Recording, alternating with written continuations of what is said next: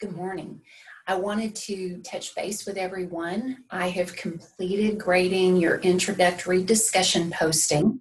So I want to be sure you know the things that you need to go back and look at um, and that you know how to navigate correctly in the course. So I have pulled up our home screen and I'm assuming everybody has watched the welcome video that explains some key features but let me make sure you don't overlook a few things that are important in this course.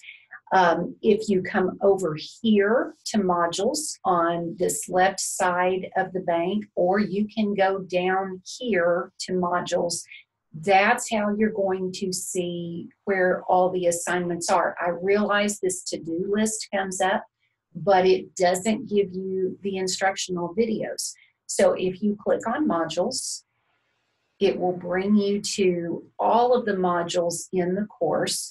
You should have completed everything that was in the Start Here module, and now you are working in Chapter 1. So if you come to this page that says Assignments for Chapter 1, this is where you find your instructional videos.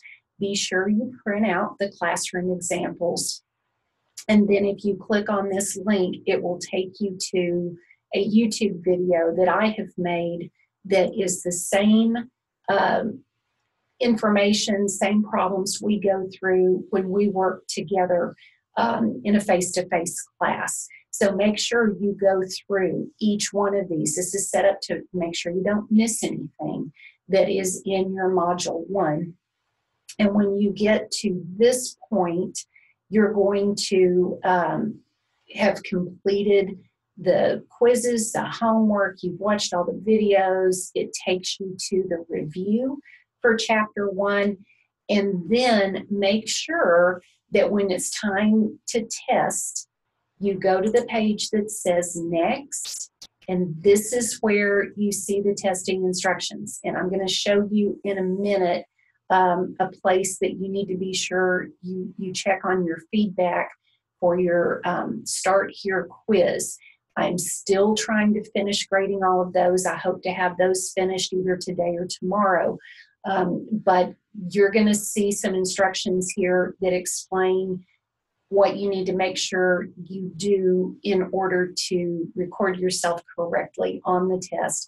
And then make sure you read all the information about what's not permitted on the test, what is permitted. And then I've included these snapshot pictures, um, I've tried to preserve anonymity for these students who have tested for me in the past because I often get the question, how do I set up my mirror if I'm using an internal webcam? And this gives you a few examples to show you what it is that I am looking for with the mirror placement. So make sure you do that. Now, here's the other thing I want you to be sure you do if you come in here to grades, you may see um, a, a, little red icon over here that tells you how many new grades there are for you. When you click on grades, it's going to take you to your grades in the course. And what I've done is give you a sample so you can see what I would want you to check. This um, test student, which is what I have used, has done the introductory discussion posting, this was the score. And if you look over here, you will see comments and a grading rubric. It's important to go back and look at these. If I click on comments, it says, please be sure to read all instructions carefully and follow the guidelines of the grading rubric.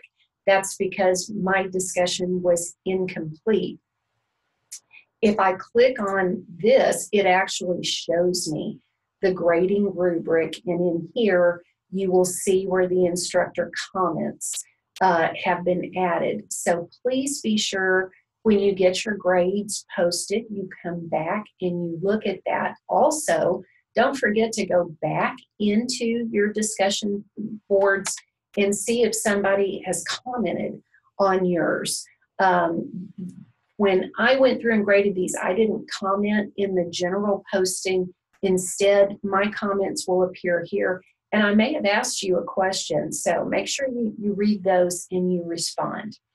this week, you should have um, homework that's being done in that first module.